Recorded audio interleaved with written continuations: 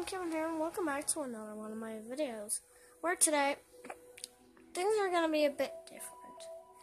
Now, um, we're going to be sh showcasing off my puppet mask. As you can see, it's got the, like, crying effect, the mouth. I still got to add the eyes, though. Shoot, forgot to add that. I might add that now, actually.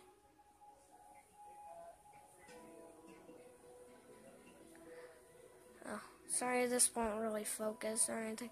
You know what, I'll do that later. But, sorry this won't focus, you know, for the full screen effect, but, because I need a chip or something, but, anyways. So, I still have a couple seconds left, like 12 or 9 or 10. Uh, but anyways, um, I'll see you guys in the next video. Hope you're having an awesome day. Make sure to like and subscribe. Bye!